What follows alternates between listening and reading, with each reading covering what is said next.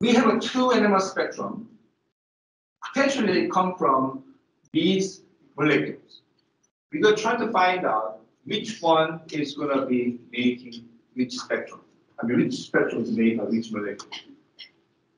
If you look at the signal, most of them, we do see two peaks. What does it mean?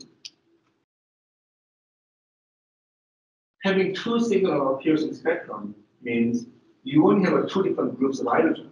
That does not mean that you only have two hydrogen, right? You, you should get it right. It's not two hydrogen, it's about two groups of hydrogen. So, lot of the, the molecule we can exclude because uh, from that already. Let's talk about that molecule right here. It has uh, six hydrogen from the methyl and then four hydrogen from the methyl, 10 hydrogen there. How many signals should you expect, should we expect from that molecule? So that is the kind of things that you're checking, and then whenever you do that, especially for the symmetrical molecule, you've got to be counting carefully. So I'll do this one for you. That only having two groups of hydrogen, even though there are 10 hydrogen structures. So first thing is, benzene has a hydrogen here, there, there, there. But if you look at the molecules, it's symmetrical this way. So these hydrogen is the same as that one. These hydrogen is the same as the yellow one. It also symmetrical this way. What it means is this is the same as that one, that's the same as this one. So all four hydrogen is actually one group hydrogen because of the symmetry. And then this is CH3, this is CH3. We got two CH3, but if you look at that, this molecule is symmetrical that way, so this is equivalent to that one. So we have a two groups of hydrogen. So this one could be potentially either spectrum. I don't know which one it is. Right now, we're only checking how many groups of hydrogens we should see the from molecule. What about that one? How many groups of hydrogen do you expect? It's almost similar, right? First of all, the one same symmetry, one goes here, and one goes there. So these is the same as that one, that the same as this one. So all four are the same. And these H2 and this H3, that material is also the same. So that molecule is also having two groups of hydrogen.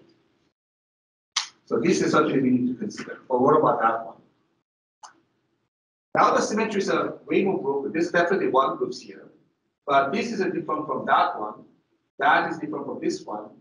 So we, this one, this one's the same as that one, and this is the symmetry there. So one, two, three, four different groups of hydrogens. And now that one. So we got two methyls the same, and then these hydrogen oxygens are different.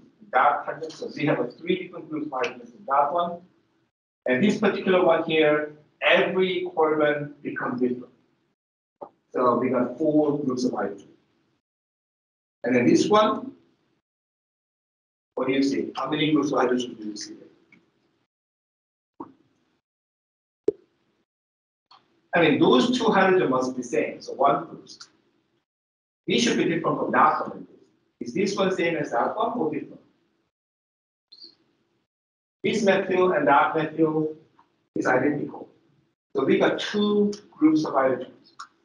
So among those four molecules, we can exclude three molecules already because that has a four different groups hydrogen, three different groups hydrogen, four different groups hydrogen, cannot be these two, right? Because we only see two peaks. So we can exclude that one out, that one out, that one out. But we still have to figure out, we got three choices. We got only two spectrum, spectrum. So which one's which?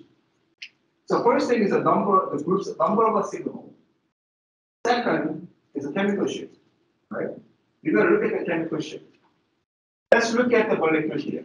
This hydrogen is a benzene that normally appears as 7 and 8. It's a little lower than 7, but I told you that it's kind of range we're talking about. They're not really pinpoint, it's gotta be above 7. No, I mean, this one is close enough to be called the one the benzene. But so if you're, if you're taking that is the one that makes a benzene, then if you look at the bottom one, it doesn't have any signal between the 7 and 8. What it means is this spectrum is created by the molecule that does not have a benzene. And then among those three choices we left out, this is the only one that doesn't have a benzene. So that must be it, obviously we have double check. But first thing is, let's make sure that if this is one giving out this, is spectrum. I mean, almost everything matches, right? We got two groups of the uh, hydrogen from the structures. We got two signal. We should expect the aromatic hydrogen there. We got aromatic peaks there. It's almost matching. But is it? Would you choose this one for this spectrum, or you to choose that one? How are we going to figure it out?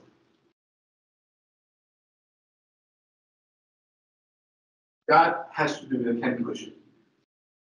If you look at that one, that H3 is directly on benzene. If you remember, this, the methyl on benzene normally shows up that region, 2.5. So if this is a molecule, we are expecting it showing up 2.5, not there. That is a 3.7, pretty high compared to the methyl on benzene. Between the 3.4, these signals normally means that that hydrogen must be next to the oxygen, right? The carbon must bear the oxygen to go that far. And this is the one that having an oxygen there. So this one is giving out that spectrum. And not only that, if you look at the integration, that's a 2 to 3 ratio. We got 6 4 hydrogen and a 6 hydrogen, that's a 2 to 3 ratio. So that also confirmed.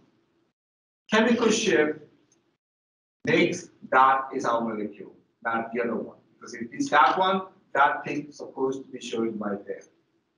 So you gotta look at everything very carefully. It could be very, very similar, only one thing in the off position, but that's the one you need to pick out to make sure that you got the right molecule. Now that one, the integral ratio is ratio is one to three. And if you look at the hydrogen, there's two hydrogen there, six hydrogen there. So two to six is a one to three ratio. So even the integration point out that this must be that one, because that's the only molecule having the ratio of the hydrogens of one to three. And then it doesn't have an aromatic hydrogen down there, right? So everything matches. But why does it come that far? I mean, you expect that these methyl groups should there. I understand that. But what about that one? 3.9 is pretty visual region. Why the signal comes out this far? If you look at that, this uh, having one bromine down there, but there's another bromine down there. So two electron withdrawing groups working together, you know, make the hydrogen loss at the density lot. So that is why the chemical shift becomes a high by having a two there. All right. So this is sort of things you're supposed to do. I'm expecting this much for the test, I mean the quiz, uh, quiz one.